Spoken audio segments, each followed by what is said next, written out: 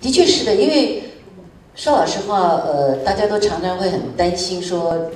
台湾电影的前途到底是怎么样啊？然后，尤其是我们现在都要面临一个更大的市场，叫大陆市场，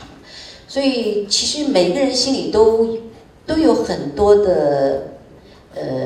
不安、迷失或者尝试，什么都有的。呃，那也不太不太知道到底什么地方有什么呃口味，应该拍什么样的题材。大家都都在摸索当中，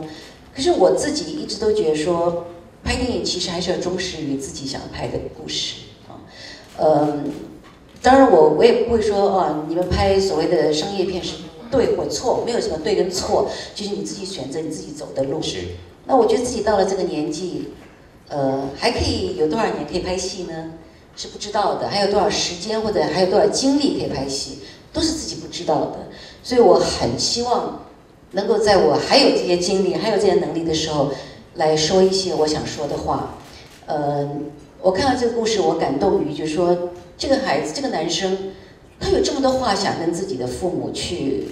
去对话，然而他就是不敢。他的真实生活中，他的父母都还存在，为什么他还是用这种幻魔幻的方式与他们去对话呢？那可见有多少的人。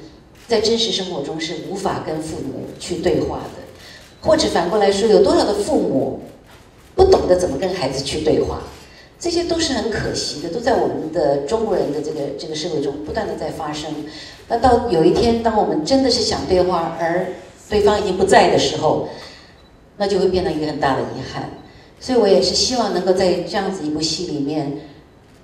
我们不去谈谁什么事情发生是对跟错，我们只是学习我们应该怎么样勇敢的往前走的一个态度，啊，所以人生本来生下来就是会碰到很多很多的，呃，有好天气，有不好的天气，有任何事情都会发生，可是我们都还是应该抱着一个包容、快乐、一个比较正面的一个态度往前走。那大家说哇，是不是很说教啊？然后很文艺啊？每个人都很担心，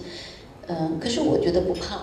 因为。拍电影有很多的方式，我可以要让它美丽，我可以让这个戏看起来好看，然后它里面有它的含义在那边，所以我就是很诚实的去做了这么一件事情。呃，说老实话，现在电影是越来越难拍，啊，市场也是越来越辛苦。虽然大家说啊，现在市场很大，中国大陆多大市场，可是能够进去大陆市场，